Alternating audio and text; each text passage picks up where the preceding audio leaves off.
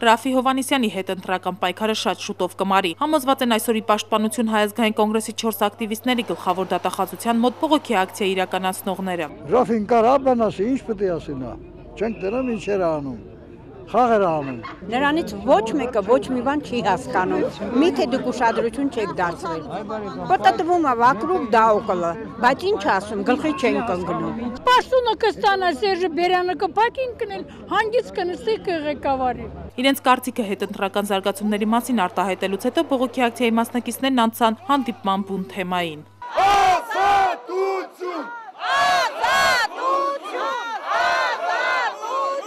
Հայազգային կոնգրեսի 4 ակտիվիստների 2-ից 6 տարվա անազատության դատապարտող վճռի հրապարակումից հետո նրանց համակիրներն այսօր արդեն 27-րդ անգամ են հավաքվում գլխավոր դատախազության շենքի մոտ։ Նրանց պահանջը նույնն է՝ ազատ արձակել Հայազգային կոնգրեսի ակտիվիստ Տիգրան Արաքելյանին եւ արդարացնել մյուս 3 երիտասարդներին՝ Արտակ Կարապետյանին, Սարգիս Գևորգյանին եւ Դավիթ Քիրամիջյանին։ Երիտասարդները մեղադրվում են 2011 թվականի օգոստոսի 9-ին Կարապի լճի հարևանության ոստիկանների հետ բախվելու եւ նրանց նկատմամբ պուշ կիրառելու մեջ։ Երիտասարդներին դատապարտող վճիռը հաստատվել են նաեւ վերաքննիչ դատարանի կողմից եւ այս պահին նրանց բողոքը գտնվում է Վճռաբեկ դատարանում։ Սպասում են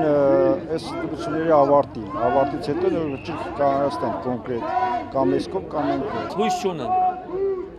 բայց մեր պայքարը այս դրա համար է։ Ակցիայի մասնակիցները համոզված են, որ Տիգրան Արաքելյանն արդեն ազատության մեջ կլիներ եւ մյուս երիտասարդներն էլ արդարացված, եթե իրենց միանային նաեւ մյուս ուժերի ներկայացուցիչները, անկախ իրենց հայացքից։ Այստեղ քաղաքական հայացքները կապ չունեն, պայքարում են քաղբանտարկյալների ազատության համար։ Այսօրվա ակցիայի ավարտին նրանք մեկ անգամ եւս արձանագրեցին անկախ Հայաստանում կա 4 քաղբանտարկյալ։ Սուսաննա Պողոսյան, Սևակ Մեսրոպյան, EPF